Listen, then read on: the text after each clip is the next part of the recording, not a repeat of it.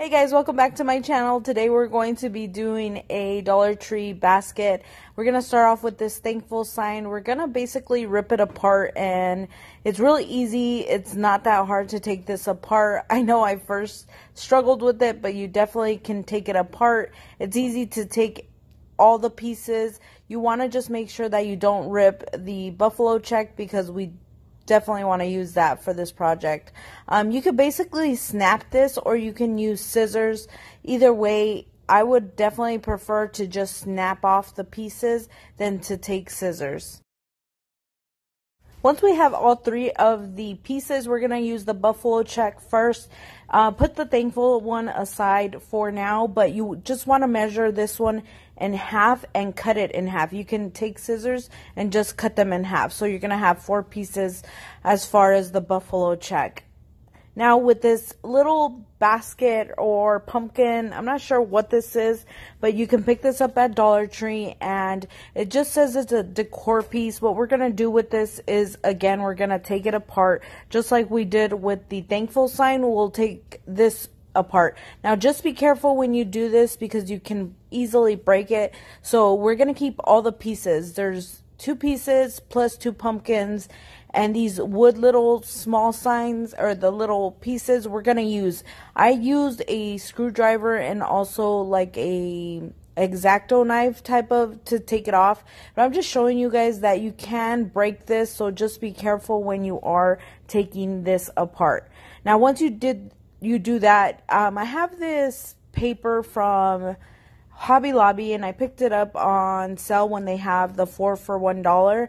And I'm gonna trace out the pumpkin and then um, I, I need two pieces and also taking the Waverly chalk paint. I want to make sure I paint the pumpkins on both sides. You don't have to, but I just prefer to chalk paint them both.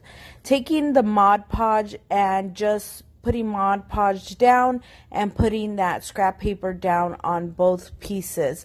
At first, I didn't do a layer on the top just to lay it down, but I prefer to lay a uh, kind of like to seal the paper down.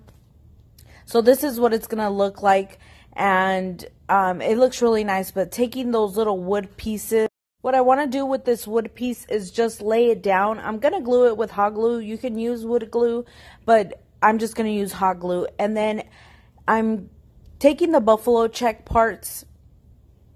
This is going to be a little bit tricky to explain.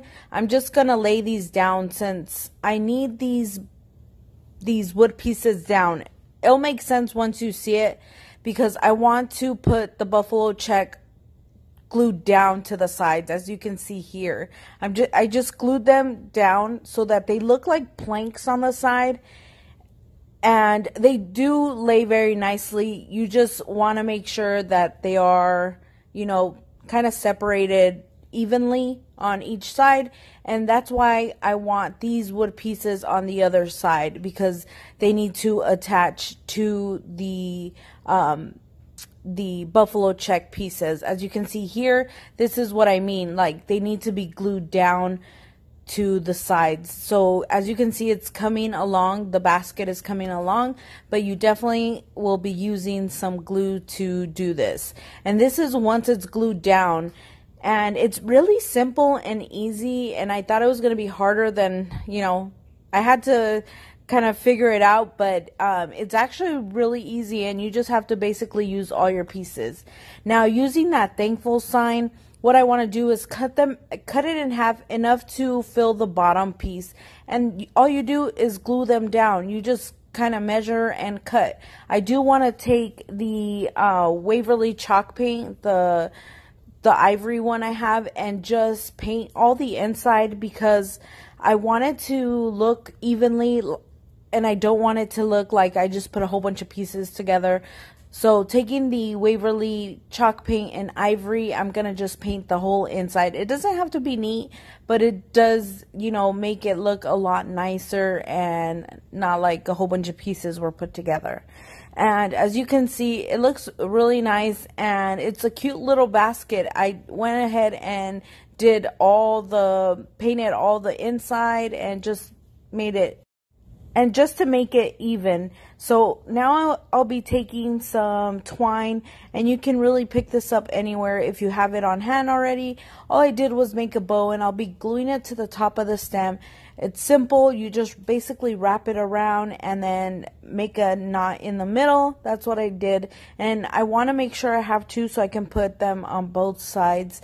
I just want it to be, you know, the front and the back to have a little bow just to finish it off. And that is really it for this tutorial. I hope you guys enjoyed. And all you have to do is add some Dollar Tree floral to your basket and you can place it anywhere. I hope you guys enjoyed this video. If you did, give me a thumbs up and I will talk to you guys in another one. Bye.